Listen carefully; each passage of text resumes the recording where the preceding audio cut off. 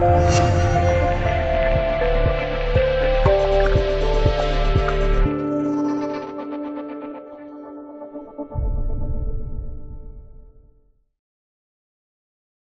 料图：俄罗斯 S 三零零防空导弹系统。环球时报综合报道，俄新社二十四日援引克里姆林宫新闻局的消息报道称，俄罗斯总统普京当天和叙利亚总统巴沙尔通电话，通报了俄伊尔二十飞机被击落后俄方的回应措施，其中包括向叙利亚交付先进的 S 三零零防空导弹系统。据报道，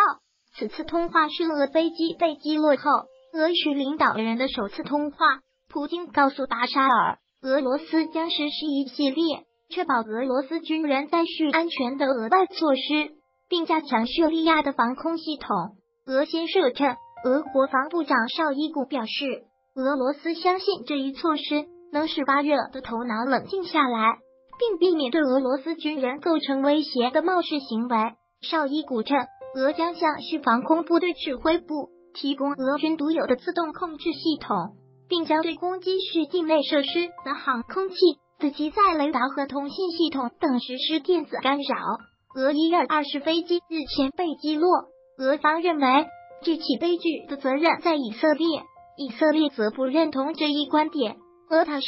二十四日称，俄总统新闻秘书佩斯科夫表示，向叙利亚提供 S 三零零防空导弹系统，并不针对第三国。俄罗斯议员莫罗佐夫表示。